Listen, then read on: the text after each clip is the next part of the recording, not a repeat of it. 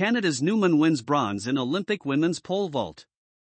Paris Alysha Newman has won Canada's first ever Olympic medal in women's pole vault, claiming bronze on Wednesday with a Canadian record height of 4.85 meters.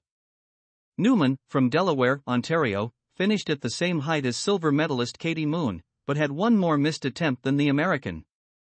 Nina Kennedy of Australia cleared 4.90 meters to win gold.